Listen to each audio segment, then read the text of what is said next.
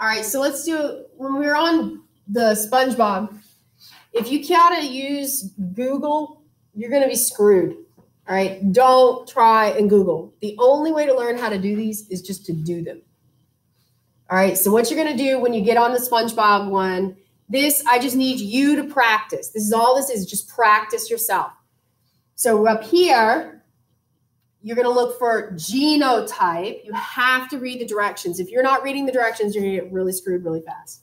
All right, so the genotype is given and indicate whether it's heterozygous or homozygous. So instead of you having to write out the word hetero or homo, you can just write he or ho. um, I know, but at least it's easier, you know. So remember, hetero means they're different, right? So they'll be either it'll be a mix of capital and lowercase.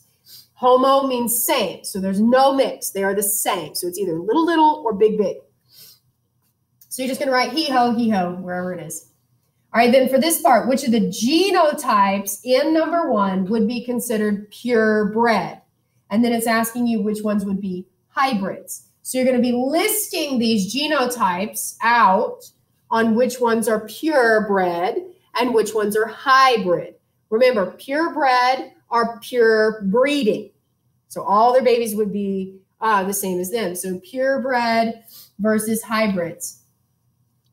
On here, when you get here, it says determine the phenotype for each given genotype, okay? So here's where you need to start paying attention to the words. If you are given a genotype, then you have to tell me the phenotype. Remember, phenotype is in words, what you see. So is he going to be yellow or blue? So if he's capital, capital, he is showing you that yellow is dominant. So that means it would be represented by a capital letter. So that one would be yellow. And you have to go keep going through. The same thing for here for square or round. Now you're going to use these genotypes that they tell you and here and here when you get down into the questions. It tells you the letters to use. All right, so when you're on this one, they tell you the phenotype, but you have to give the genotypes possible. There can be more than one. So the genotypes are the letters. So you have to figure out. A tall head, which is a capital T, is dominant to a short little t. You have to remember that you have to give the genotypes. There's two letters in every genotype. So tall, there's two ways to be tall and there's only one way to be short. Remember that. Same thing for pink or yellow bodies.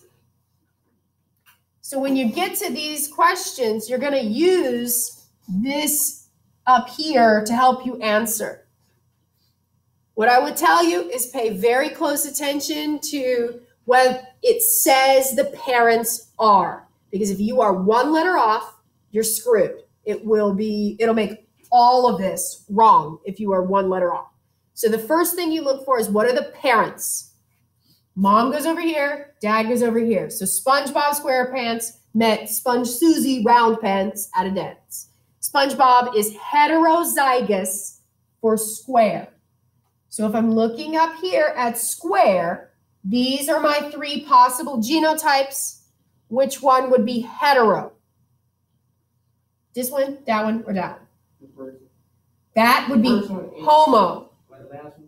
This one, S oh, yeah. capital and lowercase, is a mixture. That's why it's different. so when you put him on here for SpongeBob, he would be capital S, little s.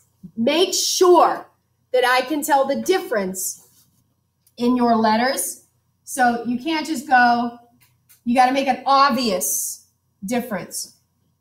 Some of these, it's really hard to do that on, but make it obvious. You know what I mean? That way, there's no chance in me mistaking what it is. If I cannot tell, it is wrong.